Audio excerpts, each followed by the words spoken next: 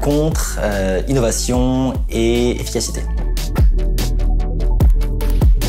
J'ai d'abord découvert la blockchain sans le savoir via Bitcoin, un peu comme tout le monde, je pense, du moins comme beaucoup. En 2012, on en parle beaucoup déjà quand je suis en France. Et en fin 2012, je vends ma première boîte. Et en 2013, je me pose la question d'en acheter un petit peu. Et je comprends pas encore trop ce que c'est. J'avoue que c'est assez flou à l'époque. Et un copain euh, entrepreneur, Reda d'ailleurs, euh, m'en parle beaucoup. Et au bout de six mois, je me décide d'en acheter. Je vois qu'entre le moment où il m'en a parlé et où je l'ai acheté, il a fait un beau multiple aussi. Et je me dis, bon, allez, je vais en acheter un petit peu. Et donc j'ai commencé euh, à ce moment-là. Et ensuite, entre 2013 et 2015, un peu le calme plat. Je les avais sur un wallet, j'avais un peu, pas oublié, mais j'avais un peu mis de côté ce sujet. J'ai monté une autre boîte dans le secteur du consumer mobile.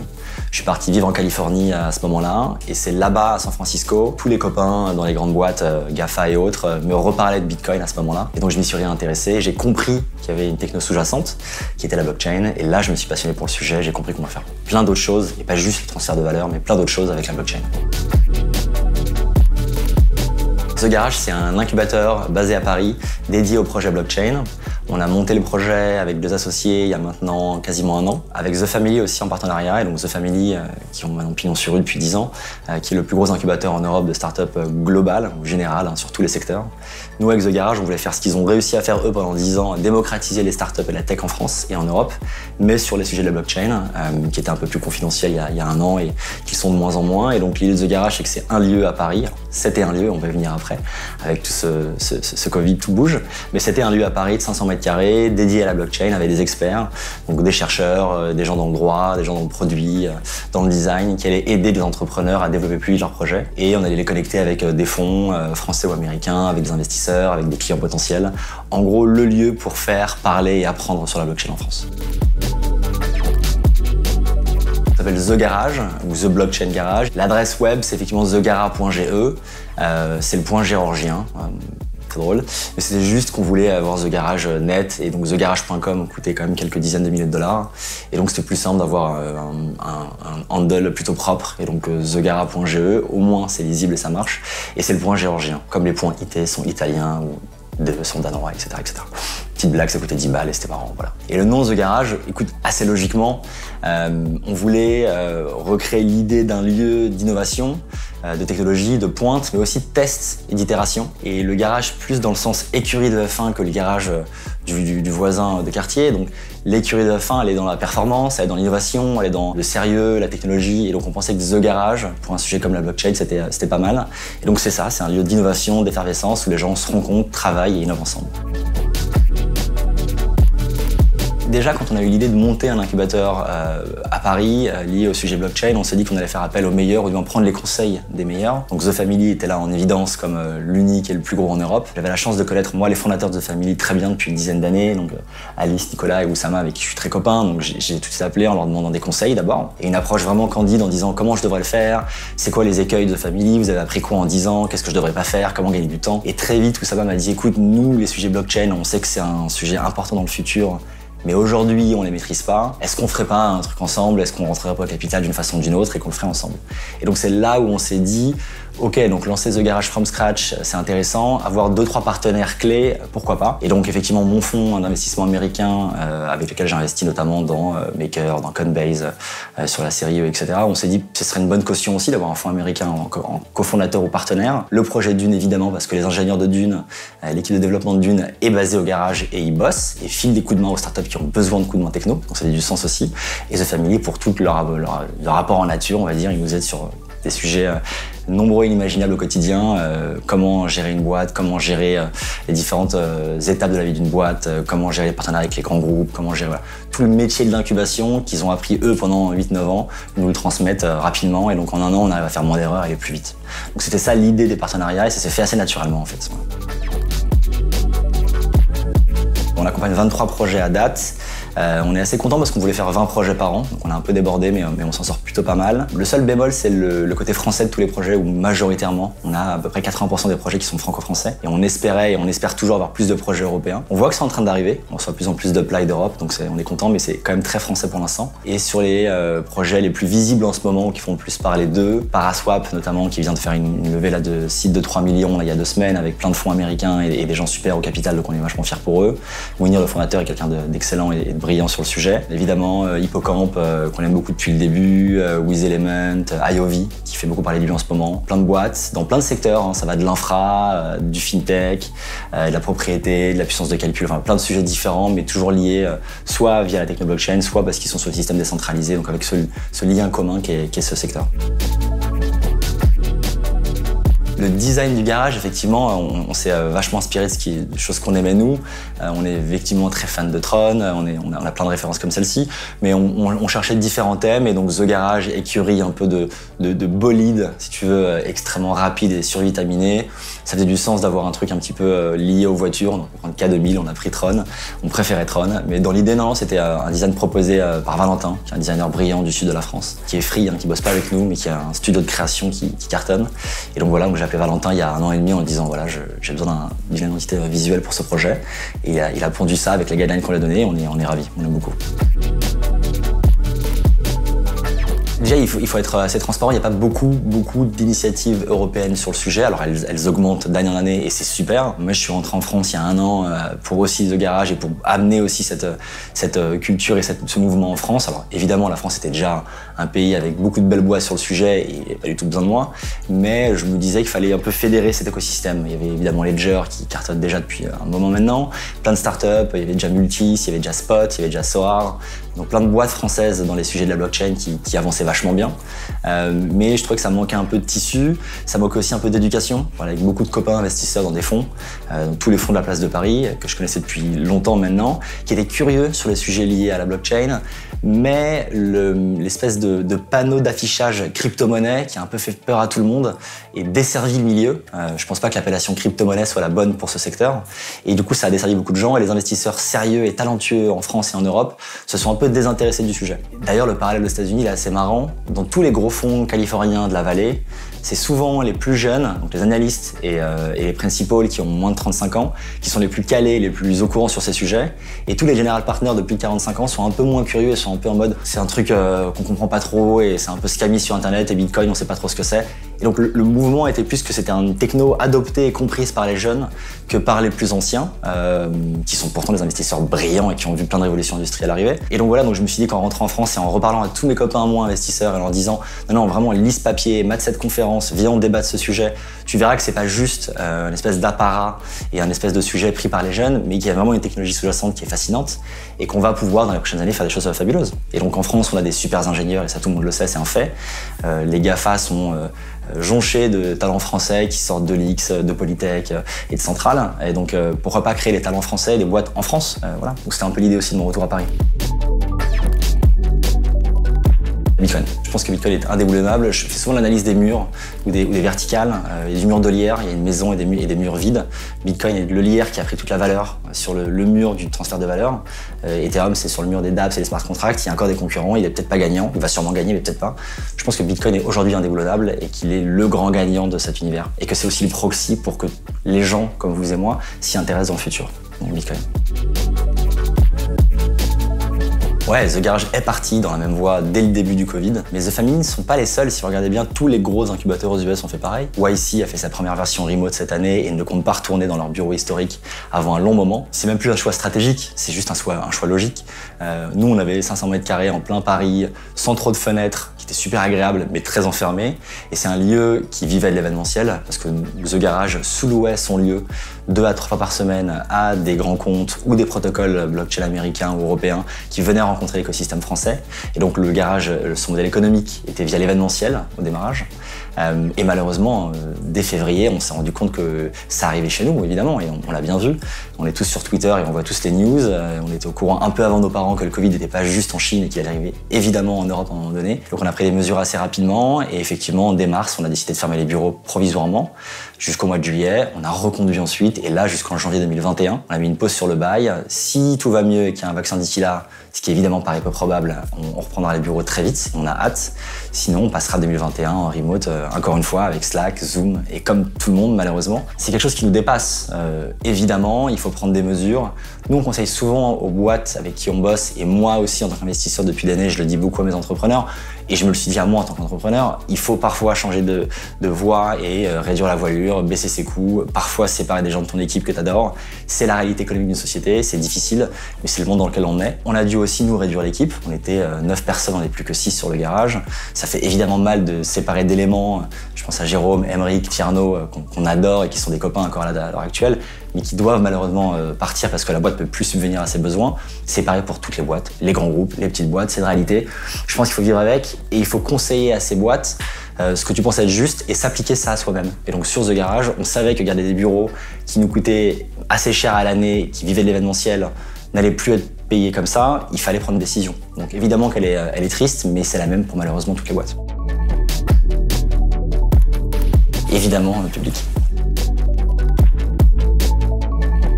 Donc Dune, c'est un projet qui a un peu plus d'un an, qui a été créé en juin 2019, donc qui est assez récent tout de même. Et la genèse de Dune, euh, ça va être un, petit peu long, mais, euh, c'est une super histoire. Euh, l'équipe de fondateurs de Dune sont des chercheurs français qui étaient tous entre Polytechnique et Saclay, qui avaient une à l'époque une agence de développement en code OCaml, en langage de programmation OCaml. L'agence s'appelait OCaml Pro. C'est une boîte qui a une dizaine d'années. Et donc Fabrice était le fondateur de cette boîte, toute une équipe de talents brillants, Sagdas, Mohamed, tous les autres. Et effectivement, cette boîte a bossé pour Tezos et a codé une partie du protocole de Tezos depuis 2017. Pendant 2-3 ans, ils ont bossé sur ce projet, 2016 même, je crois, j'ai peut-être une bêtise. Et ensuite, ils se sont séparés de la vision de Tezos il y a un an et demi. Ils ont arrêté de bosser avec Tezos, ayant grandement contribué euh, au code source et à la techno Tezos comme elle est aujourd'hui. Tezos a été un, succès phénoménal puisque la ICO a levé plus de 250 millions de dollars et qu'ils ont été euh, euh, extrêmement valorisés avec beaucoup d'attention comme projet européen sur le sujet des, plateformes publiques de blockchain, donc concurrents par exemple de, de EOS, de Ethereum, de Neo et autres. D'ailleurs, des premiers en Europe Europe, et un des plus gros.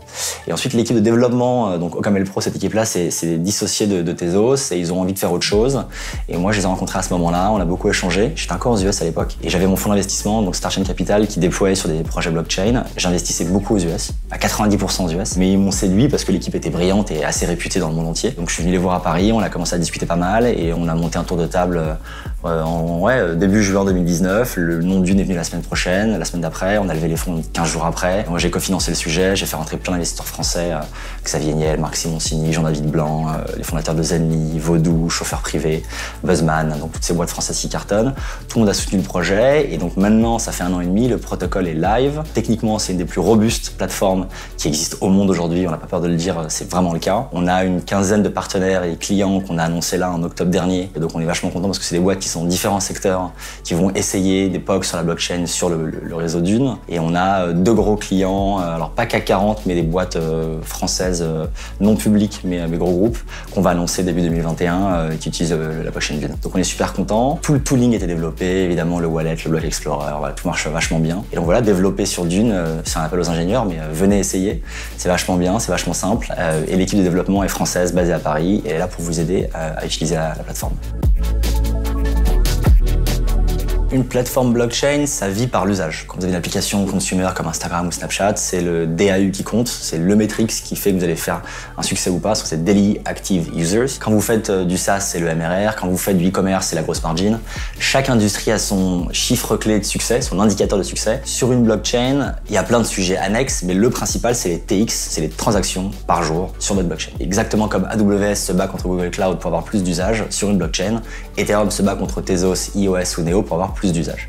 Maintenant qu'on parle de, ça, euh, on regarde ensuite la localisation des différents leaders mondiaux. Neo, c'est chinois, euh, Ethereum, c'est plutôt canadien, mais aussi très américain. Et en France, il n'y avait effectivement pas grand-chose sur le sujet. Pourtant, j'ai dit tout à l'heure, les ingénieurs sont brillants et la matière grise, elle est là. Donc l'idée Dune, c'était d'avoir une plateforme française, avec une boîte française, des salariés français, des ingénieurs français basés à Paris, qui puissent ensuite proposer euh, des projets ou une infrastructure à des gens comme Renault, Total, Elf ou des boîtes françaises qui, elles, ont besoin aussi d'être d'avoir une entité juridique avec laquelle contracter, etc. etc. Donc on pense qu'on peut faire un beau sujet en France. Euh, on sait que rattraper Ethereum maintenant, c'est inenvisageable et qu'ils auront à terme, je pense, 80% du marché. Mais il y aura plusieurs réseaux concurrents, comme aujourd'hui on a Azure, ou comme on a iOS, Android, etc. etc. Et donc je pense que la croissance de Dune passe par, un, sa, sa simplicité d'usage et de développement. Il faut attirer les développeurs et des créatifs et des entrepreneurs qui viennent développer sur Dune euh, dans notre langage. Et donc pour ça, il faut simplifier au maximum euh, la documentation, l'explication. Il faut pouvoir avoir effectivement différents langages de programmation qui soient transmutables directement euh, sur la plateforme Dune. Donc on fait pour ça les transpilers, les transcodeurs, etc. Donc on a besoin d'être le plus ouvert possible. Ça, on y travaille beaucoup. On doit être aussi très sécurisé parce qu'une blockchain doit être sécurisée tout type d'attaques sont possibles et ça aussi, il faut l'éviter. Donc c'est des sujets qui sont aujourd'hui assez compliqués, honnêtement. Euh, moi, je suis pas du tout ingénieur, donc c'est pas du tout mes compétences. Je respecte beaucoup ceux qui ont les compétences de le faire. Et ce que je me dis, c'est que la barrière à l'entrée pour monter une plateforme from scratch aujourd'hui, est extrêmement grande. Il faut une équipe d'une dizaine de chercheurs, et donc chercheurs, plusieurs mois de travail pour arriver à trouver le bon consensus, la technologie. Donc tout ça donne une équation qui fait qu'il y a aujourd'hui une plateforme en Europe qui est leader, qui s'appelle Tezos et qui est super, qui est plutôt suisse d'ailleurs, et il n'y a rien en France et franco-français, et nous on se dit, bah, il y a peut-être un petit boulevard sur la France, et ensuite sur l'Europe, et avoir des startups et des groupes qui commencent à créer leurs projets chez nous, dans notre infrastructure, avec ensuite un objectif d'augmenter les takes assez rapidement. Aujourd'hui, par exemple, euh, d'une, c'est 5000 takes par jour. Ça bouge entre 4000 et 6000, mais globalement 5000 par jour. Euh, Ethereum, c'est plusieurs millions. On est vraiment loin derrière.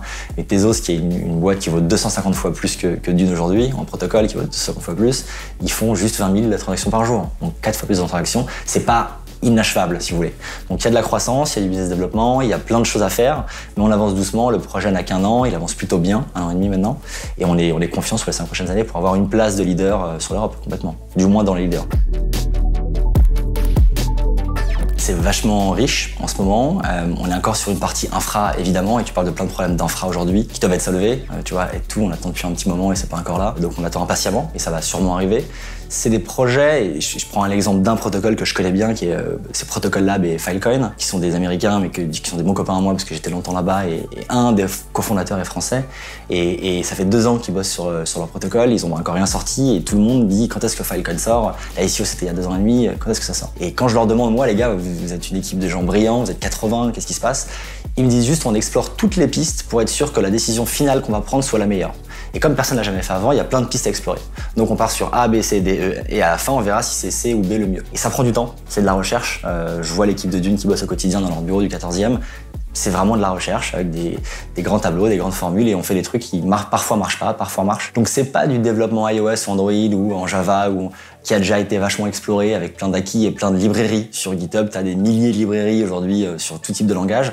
En Solidity, euh, sur Ethereum, c'est un langage qui a quand même que 3, 4, 5 ans, il n'y a pas beaucoup de librairies. Quand tu codes sur Solidity, généralement, c'est assez rapide, mais ensuite, tu as 50% d'un temps de debug qui est là parce qu'il y a plein d'erreurs et tu peux facilement te, tirer de balle dans le pied sur Solidity, quoi. Ça existe. Euh, la syntaxe est plutôt simple, mais il y a plein de bugs possibles. Donc tout ça, il faut, le travailler. Donc je pense qu'effectivement, on, voit la scalabilité qui est un des problèmes majeurs qu'on voit du point de vue consumer, mais il y a plein d'autres problèmes aujourd'hui dans les, dans les différents euh, réseaux et plateformes publiques de blockchain qui ont besoin d'être solvés. Donc ça, ça prend du temps. Et donc ça avance, c'est riche, se passe plein de choses. L'innovation vient de partout et pas que des US, ça c'est vachement rassurant. Elle est plutôt scientifique et mathématique et je pense que d'ici 2 à 3 ans, elle sera de plus en plus produit et, euh, consumer facing. Et en France par exemple, quand tu vois Multis ou Sorar dont j'ai parlé tout à l'heure, c'est les premières boîtes non infra plutôt service extrêmement bien designées avec des gens qui viennent du produit, qui ont fait des boîtes de produits avant et ça se voit et ça c'est beau. Et ma mère quand je lui monte Spot euh, euh, ou Sorar, même si elle comprend pas tout, elle a envie d'utiliser quoi. Alors que quand je lui monte ma Etherwallet, tout de suite, pour Etherscan, ou même euh, d'une scan, hein, je vais me tirer une balle dans le pied aussi, hein, on va pas se mentir, c'est des outils qui sont faits pour des développeurs et pas pour mon petit frère. Et donc euh, ça prend un peu de temps d'y arriver. Euh, je pense qu'on n'y est pas encore. Coinbase a fait un boulot formidable effectivement sur, ou même Binance, mais qui est encore un peu plus pointu. Coinbase c'est quand même assez accessible, traduit en 25 langues. Donc on y vient peu à peu et, les réseaux, les services vont aussi aller dans ce, sens-là. Mais aujourd'hui, monter un nœud sur Orchid et, être node chez Orchid, bah, c'est pas à la portée de tout le monde et c'est encore un petit peu geeky quoi. C'est un peu comme installer son propre serveur en 95 ou je fais les parallèles un peu faciles. Mais on n'est pas encore à Google, Facebook, Amazon quoi. Il y a une fille, Jenny, et on espère qu'il y en aura plus en plus dans le futur. Dans les boîtes, euh, effectivement, avec qui on bosse, il y en a quelques-unes aussi. Donc ça, va en grandissant. C'est encore un sujet qui est très euh, tech euh, et donc pas encore très féminin, mais qui, qui prend le pas dans le bon sens. Pas vu le trailer, et pourtant j'aime beaucoup Denis Villeneuve. J'ai adoré ses deux derniers films, mais j'ai pas vu le trailer. Je, le mettrai ce soir, je te dirai. C'est risqué quand même de refaire en 2021 un Dune, je trouve. On verra. Pour moi, elle va évidemment arriver. Et il y a un débat avec les copains euh, éternel là-dessus et d'autres pensent que je me trompe, mais moi, pour moi c'est une évidence. La blockchain, juste pour rappel, est en train de révolutionner doucement mais sûrement toutes les transactions et la façon dont les humains interactent et transactent en ligne euh, aujourd'hui. Donc le vote est une transaction, la messagerie et le message est une transaction, le e-commerce, prendre un Uber c'est une transaction. Donc à terme, et là je parle plutôt à très long terme, à quelques années ou dizaines d'années, je pense qu'une majorité des services transactionnels dans le monde, je pense qu'on votera sur les, sur sujets blockchain évidemment, qu'on fera de la messagerie sur des sujets décentralisés via la blockchain, tout ça est une évidence. Maintenant ça va prendre du temps. Quelle application va rendre ça grand public? C'est une bonne question. Euh, je sais pas. Euh, la DeFi, je suis pas sûr. Euh, donc on verra. Quoique la DeFi est quand même intéressante sur les, sur les, intérêts qu'elle propose, il y a quand même des choses intéressantes. Mais je pense que les grosses boîtes que sont Ledger, que sont Coinbase et toutes les autres aident en tout cas à cette transition. Je pense que les, évidemment les, les marchands euh, en ligne, on parle de plus en plus de PayPal qui va peut-être accepter Bitcoin bientôt. Samsung a dit officiellement qu'en 2021, tous les mobiles Samsung auraient un wallet Bitcoin intégré. C'est quand même une grosse nouvelle. Donc il y a de plus en plus de choses comme ça qui sont intéressantes. À voir qui sera la première grosse boîte. Donc Samsung est déjà une des grosses. Est-ce que Apple en 2022 va dire, en 2021 va dire, on met des wallets Bitcoin euh, dans nos, iPhones? On verra, mais c'est ce type d'innovation, euh, ou Amazon ou autre, qui va faire que ça va avancer. Donc c'est par l'usage, c'est par l'adoption, c'est par le consommateur, c'est par l'éducation. Et généralement, une, phrase qui revient souvent, c'est que 99% des gens qui prennent le temps de comprendre ce qu'est une blockchain et ce que sont les services qu'elle propose se disent que c'est une bonne idée pour l'humanité à scale et pour la société. C'est juste qu'il y a plein de gens qui font pas l'effort d'y aller. Mais c'est normal, c'est compliqué c'est pas très passionnant non plus. J'y connais rien en AI ou très peu, euh, j'y connais rien sur, euh, en DNR, il y a plein de choses que je comprends pas. Quand je prends du temps pour comprendre, je vois les évolutions possibles et là où on peut aller. effectivement, sur les sujets liés à la blockchain, c'est une évidence qu'on va y aller. Maintenant, c'est quand et à quelle vitesse Personne ne peut vraiment le savoir, et ça on le verra au cours des prochaines années. Ça sert à rien de faire les prédictions. On peut dire euh, une taille de marché de 300 milliards aujourd'hui, 3 milliards dans deux ans, euh, 3 trilliards pardon, dans deux ans. Oui, non, personne ne le sait. Donc euh, on, verra, on va attendre. En tout cas, on contribue à tout ça via nos activités respectives. Vous, en faisant des interviews du contenu et en faisant plein d'autres choses, j'en suis sûr. Nous, avec The Garage, en finançant des projets, etc. etc. C'est ça l'idée. Non, j'en possède pas. Mais euh, je crois qu'une bonne partie de l'équipe du garage euh, et les copains en possèdent tous un petit peu, je pense. Moi, j'en possède pas, mais euh, juste parce que j'en avais pas à l'époque déjà, quoi. Voilà. J'avais pas fait l'ICO, j'avais pas participé. The Contribune, évidemment. D'ailleurs, plus sérieusement, ça fait six mois, je crois, et c'est impressionnant d'être présent partout et le média est vachement intéressant. Donc bravo.